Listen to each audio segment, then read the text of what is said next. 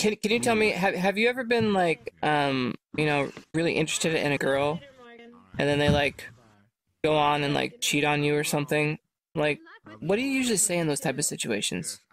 I'm just asking for some I say thank you, ma'am, for choosing a better person.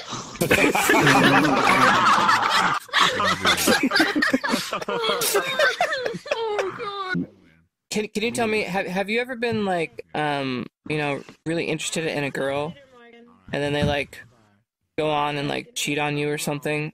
Like, what do you usually say in those type of situations? I'm just asking for some I say thank you, ma'am, for choosing a better person.